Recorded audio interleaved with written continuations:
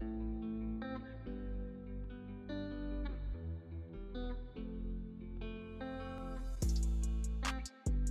Tout le monde, j'espère que vous allez bien. Aujourd'hui je vous retrouve pour une nouvelle vidéo et ça va être un point lecture concernant l'intégrale des trois tomes de L'été où je suis devenue jolie de Jenny Anne aux éditions euh, Album Michel dans la collection Lit.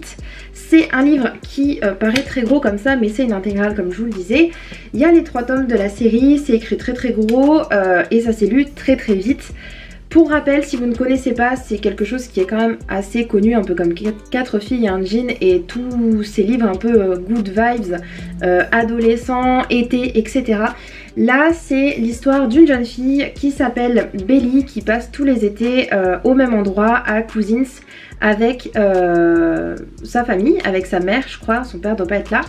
Et euh, juste à côté, en face de chez elle, il y a une maison où des garçons habitent, euh, donc avec leurs parents.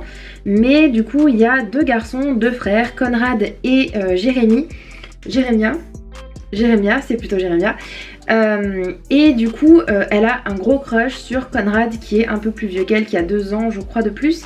et donc tout au long de ces trois hommes, on voit leur relation évoluer. Je pense qu'on est sur 3-4 euh, années à peu près. Donc au tout début, Belly, elle est assez jeune, elle a 14 ans, quelque chose comme ça, 14-15 ans. Et à la fin, euh, elle rentre à la fac. Donc voilà, on est sur une évolution un petit peu... Euh, assez intéressante parce que le personnage au début est assez immature quand même et au fur et à mesure qu'on avance dans l'histoire, bah forcément ses sentiments vont évoluer, elle va se rendre compte de certaines choses. Il y a un certain sentiment de nostalgie aussi face à ces années où elle était, où elle passait tous ses étés dans cette petite ville au bord de l'océan où elle avait aucun souci, où elle allait se baigner tous les jours avec, avec les garçons.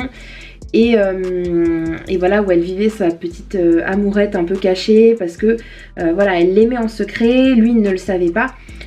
Et bref, euh, voilà, c'est vraiment un livre très good vibe. Je voulais vous faire un retour sur l'intégrale et pas forcément sur chacun des tomes. Je les ai lus euh, pas à la suite, j'ai lu le premier, euh, j'ai lu un ou deux livres entre, entre chaque tome en fait. Et ça se lit super facilement, c'est très... très, j'allais dire facile à lire, mais ça je me répète.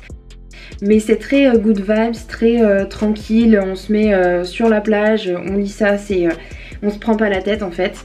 le premier tome est un petit peu enfantin, enfin disons que bon, le personnage a 14 ans, c'est écrit surtout pour des ados et plutôt pour des jeunes ados, à peu près de l'âge de Belly finalement.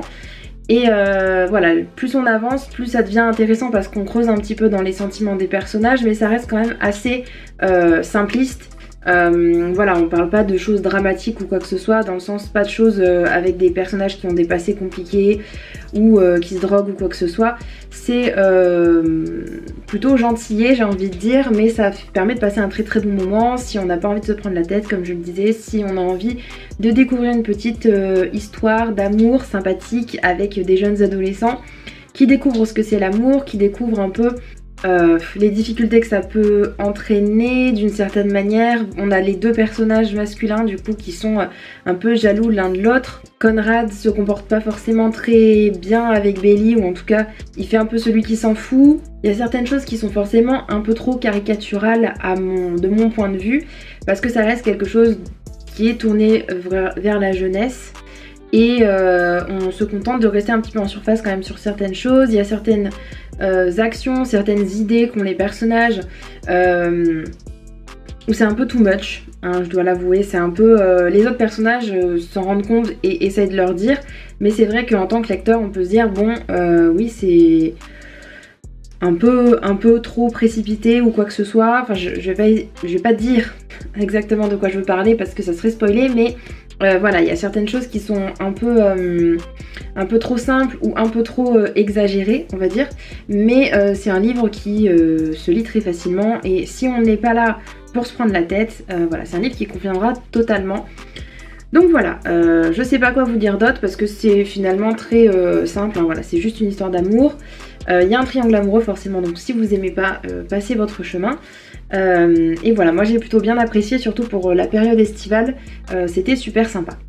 Voilà, j'espère que ma vidéo vous aura plu. Si vous avez lu ce livre, n'hésitez pas à me le dire en commentaire et je vous dis à bientôt dans une prochaine vidéo. Ciao ciao